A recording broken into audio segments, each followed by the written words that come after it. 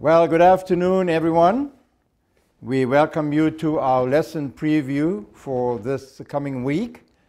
We welcome all of you that are out there online watching uh, this preview. We trust that uh, so far you've gained a lot from uh, uh watching these previews, and our prayer is that uh, it will help you in uh, your lesson preparation and give you some idea of what we have discovered and what you can use in your presentations in your classes. So uh, we appreciate you guys tuning in, and uh, God is going to richly bless us as we study. So as we begin, let's uh, say a prayer and ask the Holy Spirit to help us understand these wonderful truths in Scripture.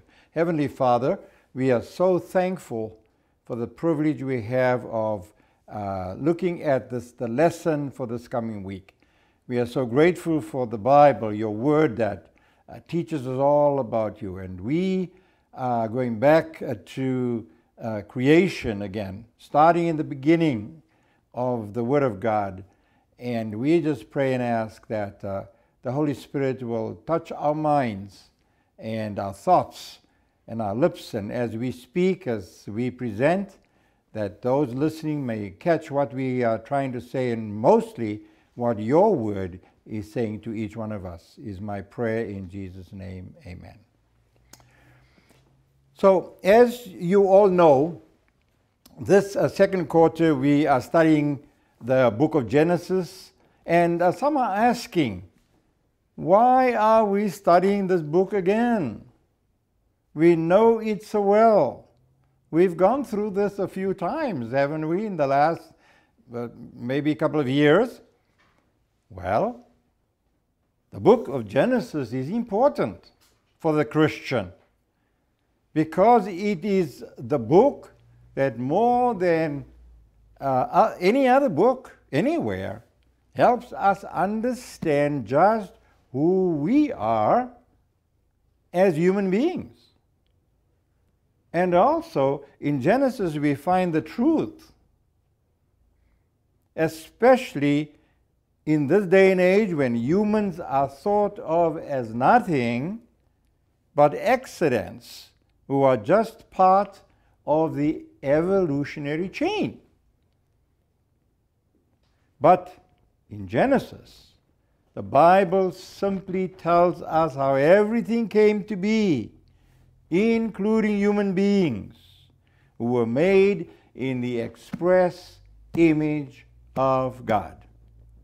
So, during this quarter, not only will we read and reread and study the book of Genesis again, but we will also enjoy its beautiful stories and learn to walk better with the Lord of creation, the Lord of Abram, the Lord of Isaac, the Lord of Jacob. And also remember that when we study and when we read God's Word, the Holy Spirit will bring to our memories, and always will bring to our memories, uh, new insights, something we haven't seen before, throw new light on a verse that we may have struggled with. And it will also bring us strategies of how to fight the enemy. How to fight the enemy so that we can be victorious. Now, last week we began the first lesson about creation. In fact, this morning, that was our study in uh, Sabbath school class. This coming week, we will look at the fall of man in lesson number two and how we landed in this mess called sin. So, let us go uh, uh, to chapter 3 of Genesis to begin uh, our study. So, in this drama, in this drama that we are about to embark on, there are four players, four characters. We find the serpent, we find Adam, Eve, and God. Only they were not acting. They were not acting. This episode was real and true.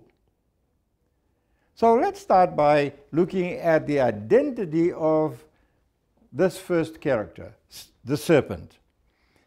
Now, the serpent was a created being, and this is what Genesis chapter 3, verse 1 tells us. The first part of Genesis 3, verse 1 says, And the serpent was more cunning than any beast of the field which the Lord God had made.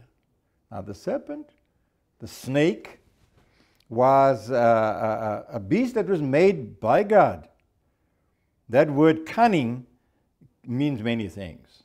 That this, this creature was, was beautiful, this creature was intelligent, and we must remember too that the serpent was known as, a, as a, an animal that was very attractive among all of the beasts right?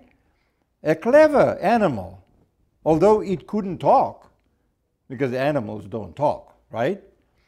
And then Isaiah tells us,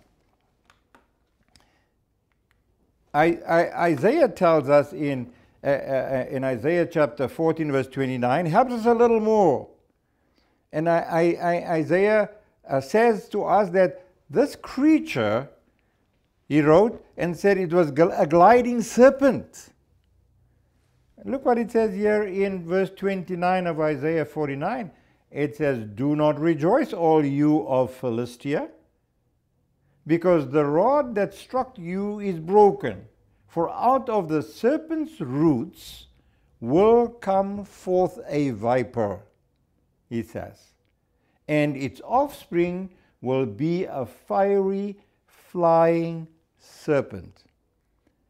So, so here it's subtly telling us a little bit more about uh, the, the, the, this uh, uh, serpent. And then in uh, the same book, Isaiah, the prophet, in chapter 27, verse 1, says this. He says that in that day, the Lord with his severe sword great and strong, will punish Leviathan, the flying or fleeing serpent. Leviathan, that twisted serpent, and he will slay the reptile that is in the sea.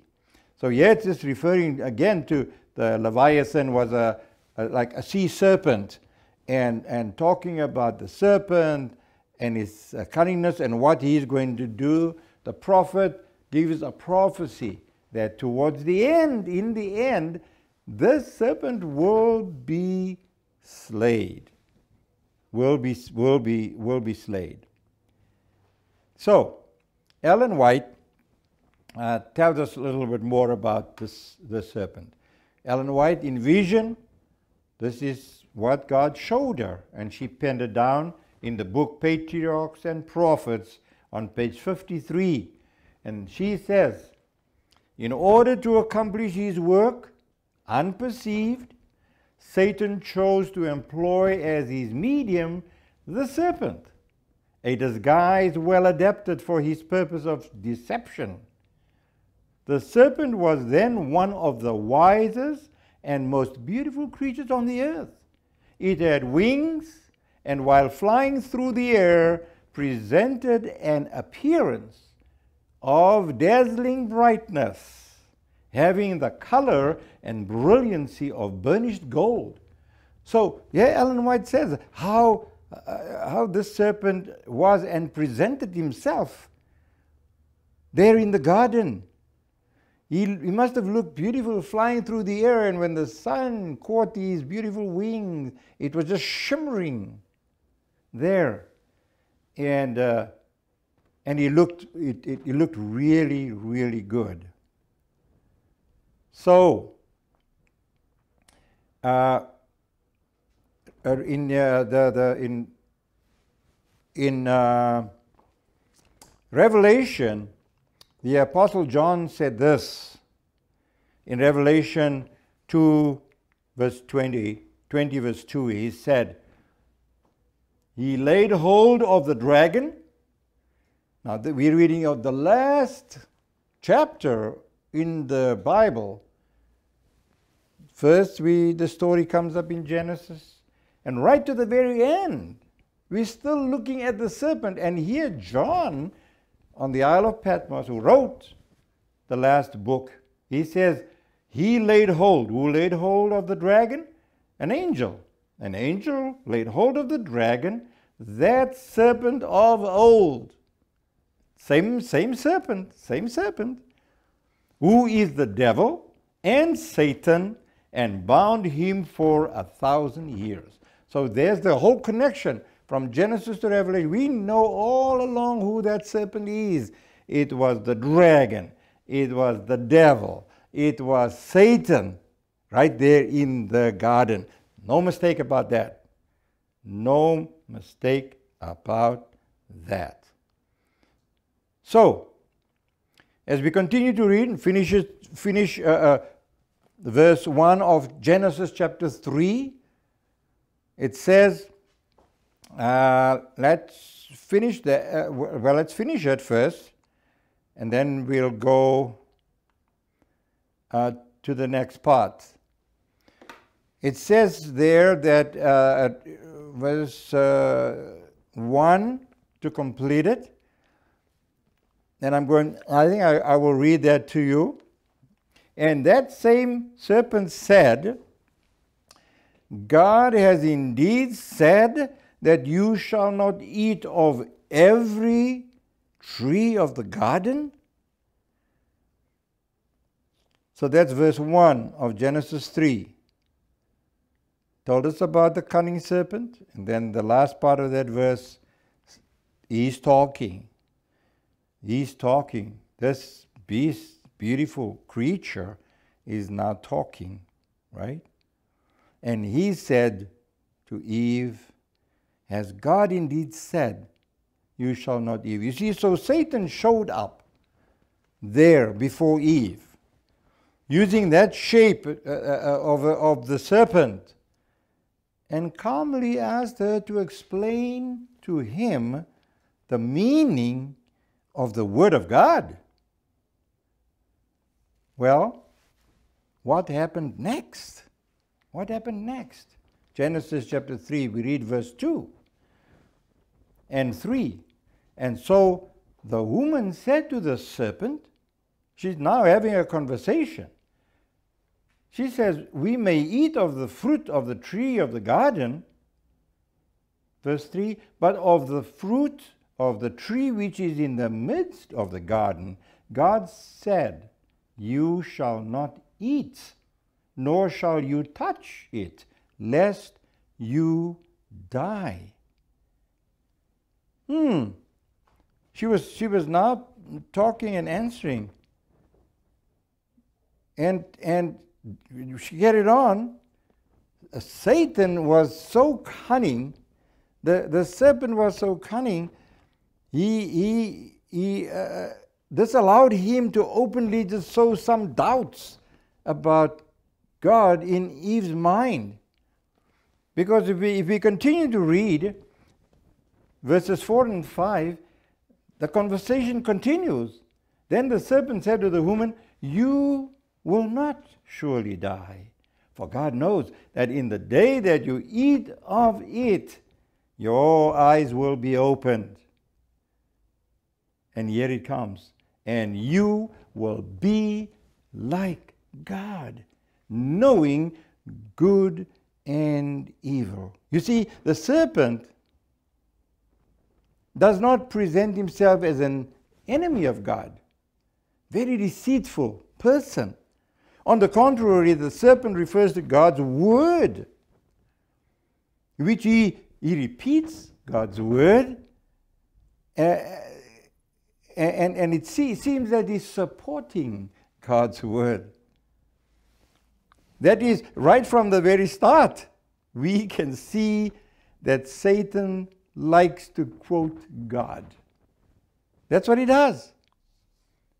And as we shall see later, as we will see later, even quoting the Word of God itself verbatim. And we know that in Matthew, in the book of Matthew, when he was tempting Jesus, he responded that way. It is written, he said. It is written. He knows the scriptures well. Now, I have a question for you. I have a question for you. Uh, if Satan was able to deceive a sinless Eve in Eden, how much more vulnerable are we? How much more vulnerable are parents? Uh, how vulnerable are our children, our loved ones?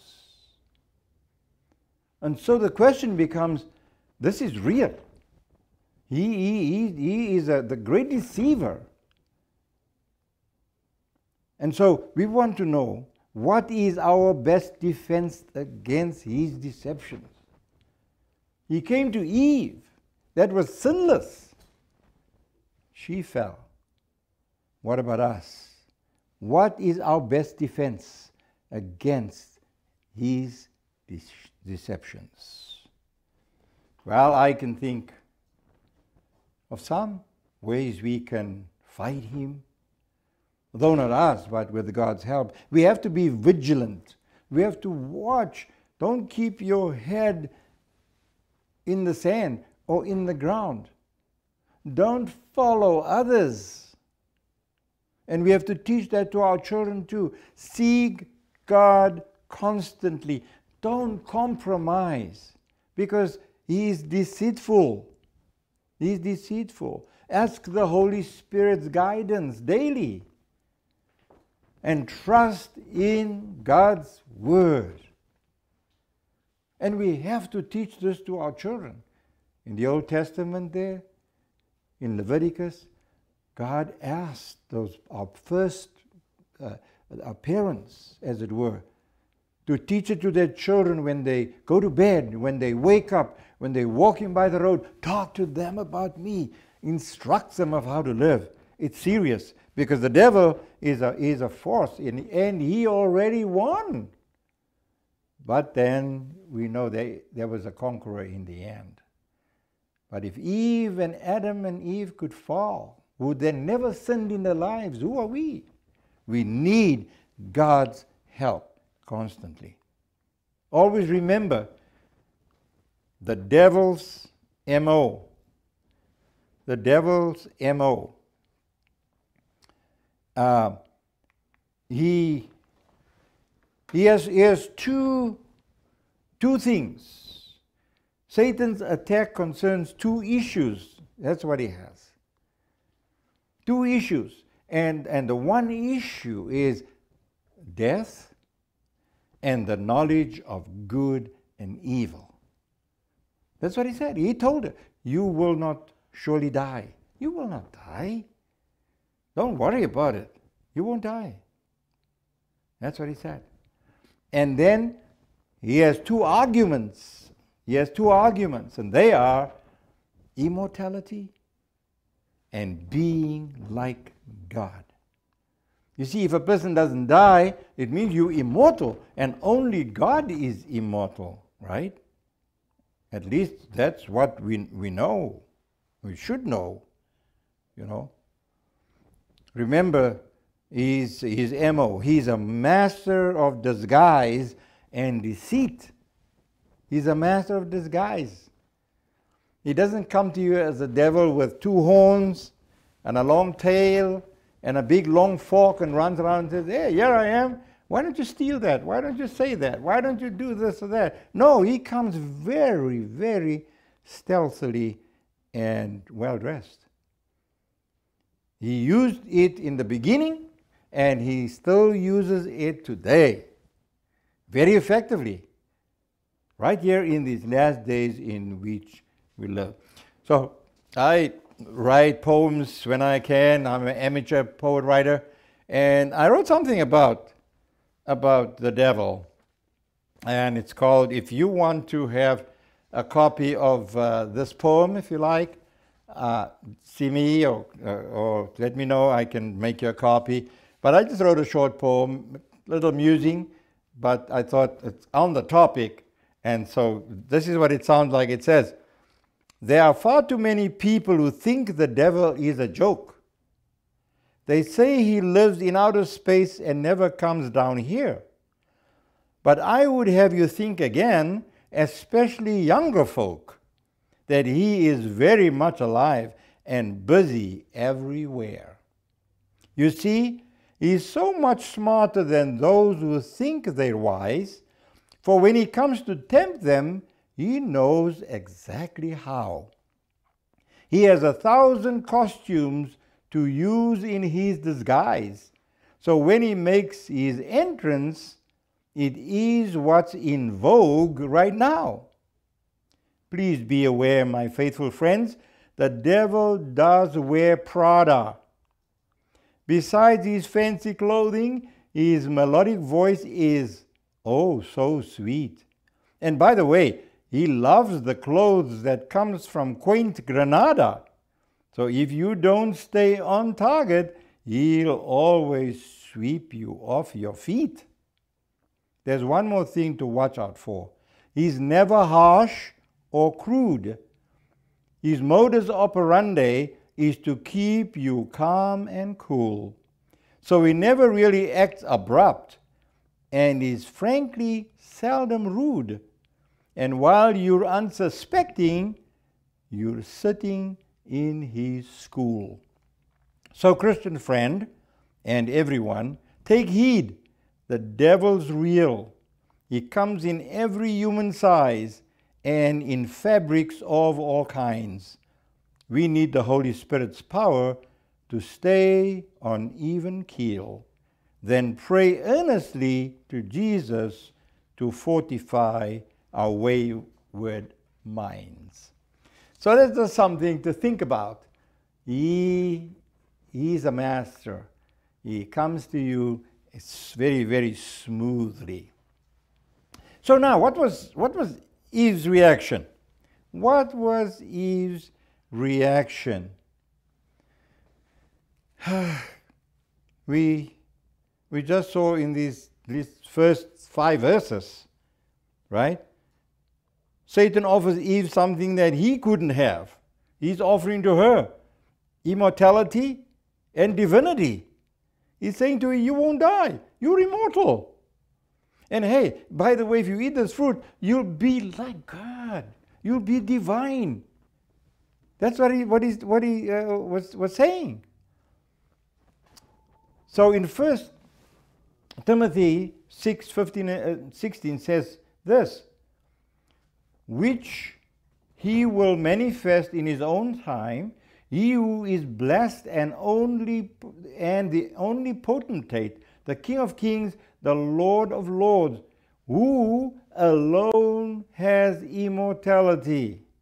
Only God has mortality, dwelling in unapproachable light, whom no man has seen or can see, to whom be honor and everlasting power. Amen.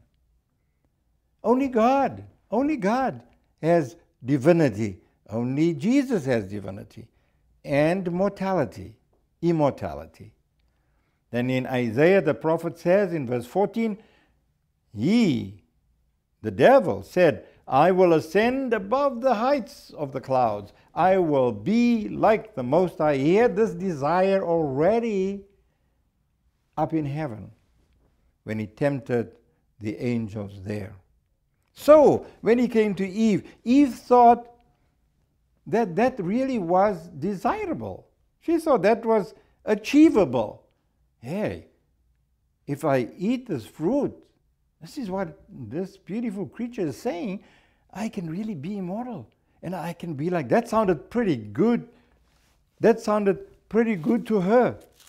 So when we, when we read uh, uh, uh verse 6 of Genesis chapter 3, that's exactly uh, what she thought. Because in verse 6 it says, she said, uh, So when the woman saw that the tree was good for food, that it was pleasant to the eyes, and a tree desirable to make one wise, she took of the fruit and ate. And then, of course, she also gave her husband uh, some with her, and he ate. So that's what happened. She succumbed to that lie. She thought, nah, this, is, this sounds good. This sounds good.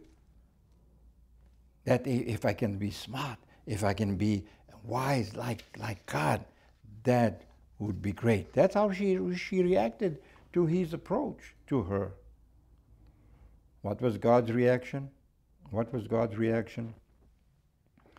Well, I before I even go to God's reaction, what, what, do you, what do you think? What do you think? The question for us to consider. Does, does their response sound familiar to you? Well, we'll find out. So here comes God, and God uh, calls them. They find that they are naked, right? They, they found that now they ate the fruit, so suddenly something happens to them. They find that we don't have any clothes. They don't have any clothes. And uh, so, so God comes along, and now God is looking for them, and they are nowhere to be found, right? So in verse, um, verse 9 of chapter 3 of Genesis, then the Lord God called to Adam and said to him, Where are you? Where are you, Adam? And then in verse 11, and he said uh, to him, Who told you that you were naked? Because Adam said, uh, I heard your voice in the garden, and I was afraid because I was naked and hid myself. Then God asked him the question. First he said, Where are you? Now, now he's asking him, How, Who told you that you were naked?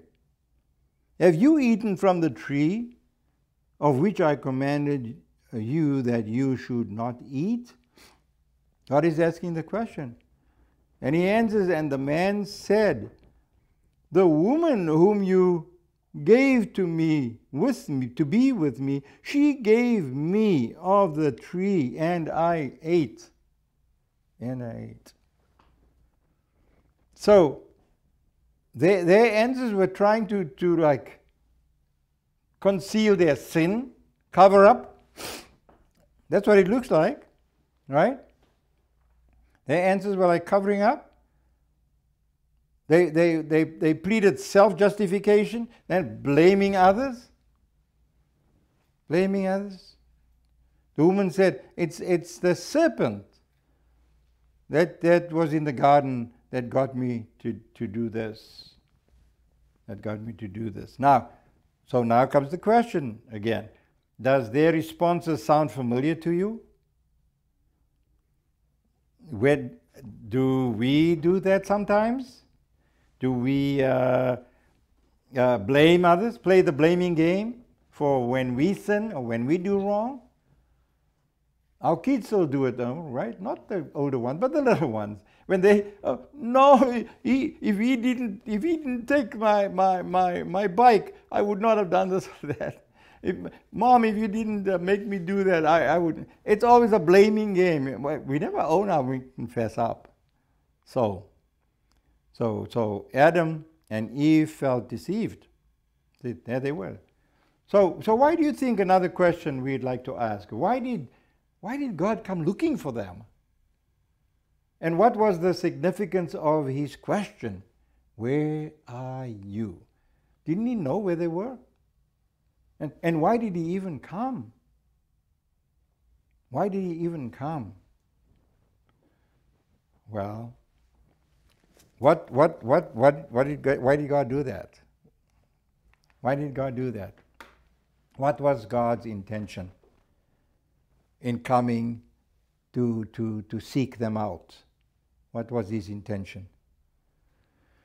Well, he came to redeem them. That's what he was. When you, when you look at what happened there, God was coming to redeem them. To, in, in other words, to get them out of this mess now that they're in. That they're in. And so God was going, coming after them. And He wants even us today to acknowledge, just like He wanted them to acknowledge their sin, so that He can offer forgiveness and He can offer them restoration. To offer them redemption. That's what the word redeem means. I'm, I'm sure you know that.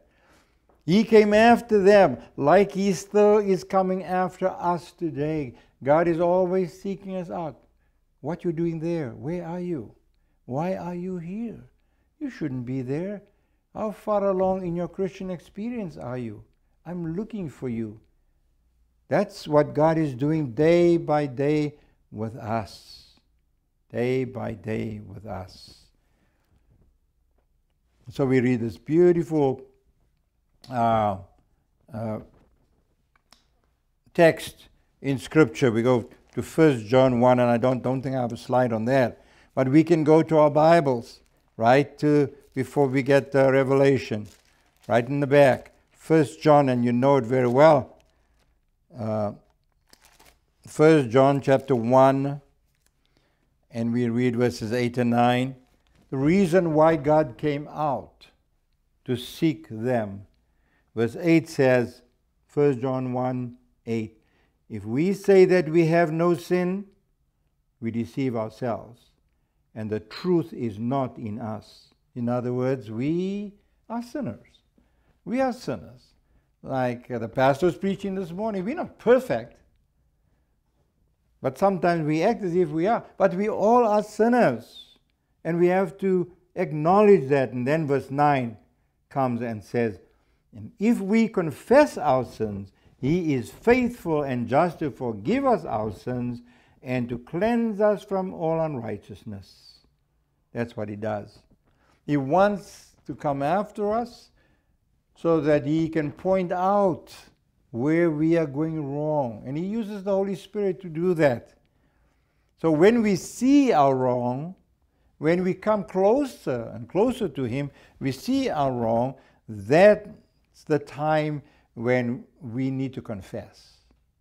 And when we confess, the scriptures clearly says, and when we confess our sins, he is faithful and just to forgive us.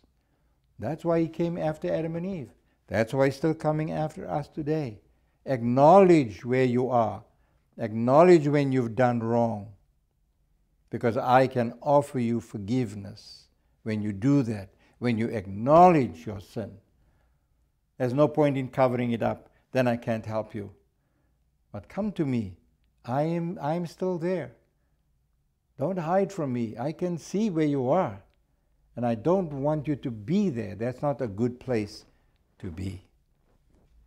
That's not a good place to be. So, uh, in the end, uh, what was the result of this story? We can say many more things, but remember, we, we're giving you some things to look at. You study your lesson and let uh, the discussion progress as you see fit. So now we get to, to uh, the last part of this lesson. What was, what, what was finally the consequences of, uh, of the parties concerned here? Well, there was a curse and there was a promise. Satan was cursed by God through the serpent because he was the one responsible for the existence of evil. He was the one. And so God cursed him. Genesis chapter 3:14. We don't have time to read that. You read it, you'll see. Then then God made a promise. And this promise had a uh, was a threefold prophecy And he spoke to the serpent. He said to the serpent, the woman, the serpent and the woman, he said, there would be constant hostility between you, Satan, and the church of God, referring to the woman. That's what he said. And then he said, the offspring of the serpent and the offspring of the woman, what was going to happen? There would be constant hostility between believers and non believers, between the children of God and the children of men. We read these responses in Genesis chapter 6. The seed and the serpent, he said that Satan bruised Jesus by hanging him on the cross, but Jesus will eventually destroy Satan. Genesis 3, verse 15 is that famous uh, curse that had that promise in it. In Genesis chapter 3, verse, uh, verse 15, when he said, and you know the verse very well, um, he said, I will put enmity between you and the woman, and between your seed and her seed. Ye shall bruise your head, and you shall bruise his heel. That's exactly what played out uh, on the cross. Satan got, got the death uh, that, uh, that he rightly deserved in Jesus' death. He could no longer uh, tempt forever God's people and those who come to him. And, the, and so he bruised the heel of the woman, the church, but his head was crushed, crushed when Jesus died on the cross. There was also, uh, amidst the death, amid the death, there was also um, uh, amid, uh, there was also the childbirth, he told the, the woman would be painful. He said that the earth was cursed for Adam, the head of the household, and amid death and the return to dust, we have eternal life through Christ who died for all mankind, is what we said. So, that in a nutshell is a preview for this coming week. There are these four players. We see how they acted out. There were consequences, there were curses and promises. There was death, but in that death came hope because Jesus finally won. And He wants us to be victorious. So, as we study this coming week, I know that you're going to find uh, a lot of new insights. Work on that because that's what the lesson wants to betray to you. Father, we thank you for giving us the privilege and the opportunity of looking at some of these high points. There are so many. We need hours and hours and hours of study to appreciate it more fully. But we pray that as we study this week into this lesson on the fall, like we were talking about how it came about, how the responses were, what the responses were.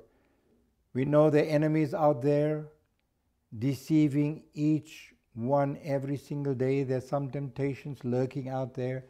And He's so good at knowing how to get us. Please help us, Lord, to ask the Holy Spirit to lead and guide us, to show us how to overcome these uh, temptations. And I know that uh, we will be successful because you've promised that we will be successful as long as we stay close to you and depend on your word. Is our prayer in Jesus' name. Amen.